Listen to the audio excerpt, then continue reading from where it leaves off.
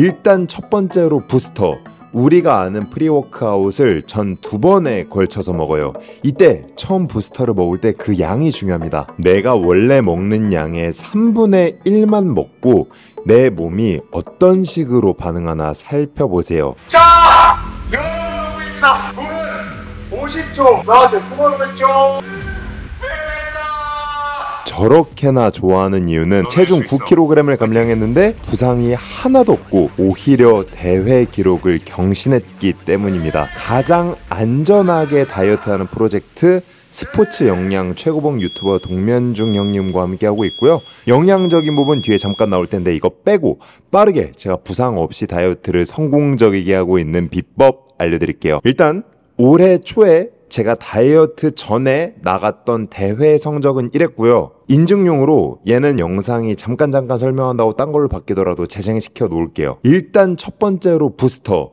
우리가 아는 pre-workout을 전 두 번에 걸쳐서 먹어요. 이때 처음 부스터를 먹을 때 그 양이 중요합니다. 내가 원래 먹는 양의 3분의 1만 먹고 내 몸이 어떤 식으로 반응하나 살펴보세요. 내 몸에 피로도를 알아야 됩니다. 가장 알기 쉬운 게 요거예요. 이렇게 하면 알 수 있는 정보나 이득이 참 많은데 저 같은 경우에는 아침 공복에 부스터 먹고 운동을 나가는데 카페인이 들어가면 원래 소화작용이 촉진돼서 배가 아프거든요. 그러면 화장실을 갔다가 인바디 측정도 가능해집니다. 화장실을 갔다 와서 비교적 일정한 환경에서 인바디 측정 가능한 이런 부가적인 효과가 있는데 가장 큰 효과는 내가 아침이 아니라 저녁에 운동을 간다고 하더라도 카페인이 몸에 들어가면 몸이 전반적으로 각성 상태가 됩니다. 전 보통 카페인 들어가면 기분이 좋거든요. 이 카페인 드링크가 당이 아예 안 들어간 것도 있지만 당분이 같이 들어가 있는 게 대부분이에요. 그 각성 효과랑 함께 시너지를 일으켜서 컨디션이 확 오르는 게 느껴지는데 만약에 그 속도나 각성되는 속도가 느리다. 운동 종목 아예 변경할 때가 있습니다. 유산소로 돌려버리거나 아예 카페인 느낌이 안 오면 운동 안 갑니다. 이 카페인이라는 게 내 몸에 말이 안 들을 정도로 피로가 쌓인 거면 굉장히 운동을 가는 리스크가 커집니다. 이게 여러분들께서 구분을 해주셔야 하는 게 운동을 가고 싶은 기분이랑 내가 운동을 할 수 있는 상태랑은 약간 달라요. 내 몸이 완전히 빈사 상태, 마탱이가 가버린 상태가 아니면 보통은 운동에 열정이 불타오르시는 분은 이 기분이 꺾이질 않거든요. 이 기분과 열정이 불타올라. 근데 카페인 먹었는데 진짜 아무런 느낌이 안 돌아. 피곤한 느낌이 커. 요때 다칠 가능성이 높아집니다. 특히 내가 부스터 복용을 얼마 전부터 시작했다거나 지나치게 긴장이 되어 있는 상태라면 내 몸 상태를 체크하기가 어려워요. 그래서 전부 다 먹진 않는 거예요. 약간만 넣어봤는데 반응이 안 오면 시작도 안 하는 겁니다. 이렇게 카페인을 넣었는데 만약에 내 몸 상태가 괜찮다, 평상시랑 비슷하게 몸이 달아오르는 것 같다, 그러면 나머지 3분의 1을 섭취하고 그 다음 단계로 들어갑니다. 몸을 간단하게 풀어줄 건데 그 다음은 운동 전 나만의 측정 지표 목표 만들기입니다. 전 운동 전에 보통 1.2km를 달립니다. 여러분 그 1.2km 라봤자 1km 슬슬 뛰면 아무리 내려도 7분이거든요. 10분만 투자하면 된다 이겁니다. 이때 중요한 건 노래 듣지 마시고요. 핸드폰 보시면 안 됩니다.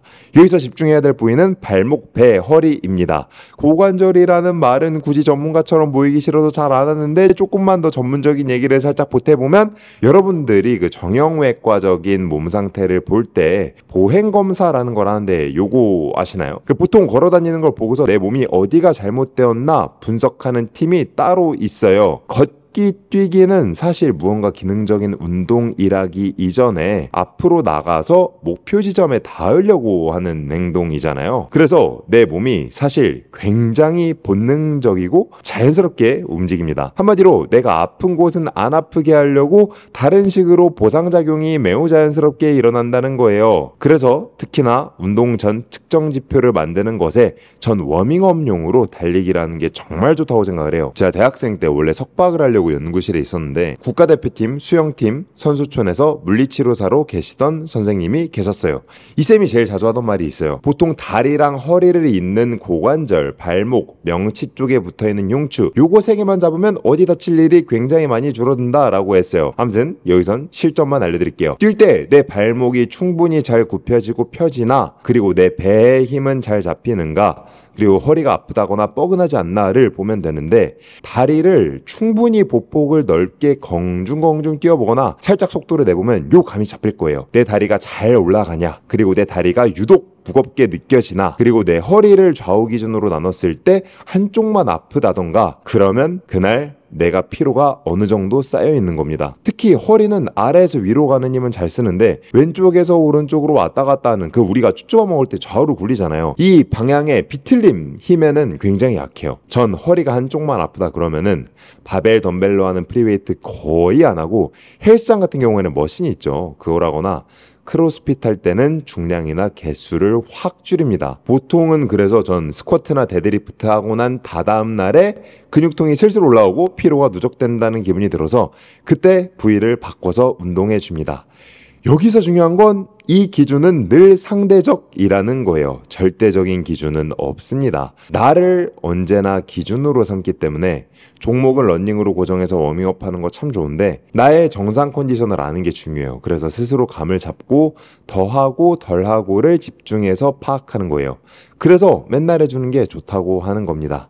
이게 아니더라도 내가 이 달리는 거리를 몇 분 만에 들어왔다 이런 걸로도 내 컨디션을 볼 수 있어요. 그래서 달리는 게 좋은 겁니다. 그리고 달리셔서 몸에 열이 올랐죠? 그러면 그대로 다리를 양옆으로 벌려보세요. 헬스장 아니더라도 실내는 보통 바닥에 타일이 있죠. 얼마나 벌려지나 이 타일 개수를 세어 보아서 감을 잡는 겁니다. 그 거리를 바탕으로 내 유연성이 얼마나 오늘 나오나 보세요. 바닥 타일 기준으로 4칸, 5칸 이런 식으로 봐서 내 몸이 얼마나 굳어 있는지 보는 겁니다. 이거 생각보다 정말 쓸모있고 저도 맨날 쓰는 방법인데 어디가 다치는 기전은 보통 그 근육에 충분히 힘이 없어서 다른 곳에서 무리하게 끌어쓰다가 관절이 나가는 거잖아요. 다리가 안 벌려지는 게 다리 힘을 아예 못 쓰는 건 아니거든요. 근데 확실한 건 힘을 잘 쓸 수 있는 범위는 내가 다리를 최대한 벌린 안에서 형성이 되고요. 보통 다리가 매우 좁게 벌려질 정도로 쑤시면 내가 쓰던 대로 힘을 주다가 무의식적으로 아프니까 반사적으로 힘을 다른 방향으로 주게 된다 이겁니다. 사실 이 다리 벌리는 케이스 같은 경우에는 이걸 기준으로 운동을 더하고 덜하고를 볼 필요는 없어요. 근데 어디를 더 풀어줄지 파악을 하는 겁니다. 그래서 최종적으로 내가 벌려지는 만큼 잘 벌려지거나 더 벌려질 정도로 충분히 범위가 나온다. 그럼 그때 운동을 들어갑니다. 그리고 내가 만약에 스트레칭 잘 안 한다. 안 해도 운동이 잘 된다. 그러면 이미 몸이 충분히 다치기 쉬운 상태로 굳어 있다는 뜻이에요. 스트레칭이 쓸모가 있어지는 순간은 스트레칭으로 몸이 유연해지고 나서 상대적으로 굳었다 덜 굳었다를 구분할 수 있을 때입니다. 그 전까진 스트레칭이 쓸모 있는지 알 수가 없어요. 워밍업하고 나서 힘 빠져서 본 운동 못 하겠다는 사람한테 제가 농담식으로 하는 말이 있는데 워밍업하고 힘 빠진 거면 본 운동 제대로 못 하더라도 워밍업이 의미가 있을 정도로 기초 체력 올리라 하거든요. 원래 어디가 약하거나 아픈 사람은 없어요. 다치고 나서 약해지고 아파져서 그에 대해 약점이 되는 거지. 그러니까 참고로 이건 겁을 주는 게 맞습니다. 이런 식의 루틴 정말 중요합니다. 마지막으로 운동의 총볼륨을 다이어트 시작 때 어느 정도 정해 놓는 겁니다. 그리고 다이어트가 진행되면 진행될수록 이 볼륨을 채우는 시간을 점차 늘려나가는 거예요. 일단 이 볼륨에 대해서 제가 설명을 드릴 건데 특히 이건 헬스에서 적용하기 가장 적절해요. 내가 스쿼트를 10kg를 들고 10개를 들었어요. 5세트를 했습니다. 그러면 이 스쿼트 로 10에 10에 5 곱해서 500kg를 듭니다. 이거를 총볼륨, 총 내가 든 무게, 볼륨이라고 합니다.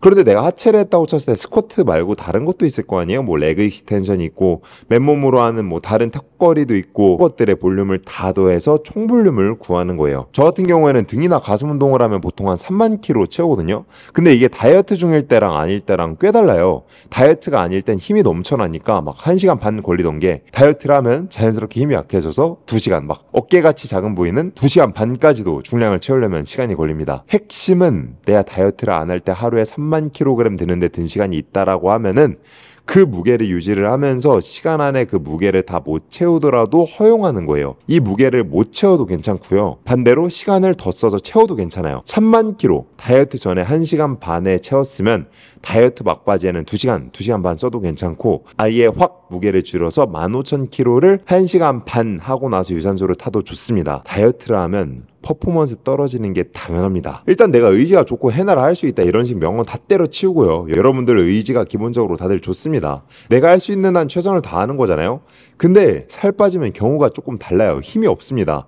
그냥 우리 몸이 이렇게 생겨 먹었어요.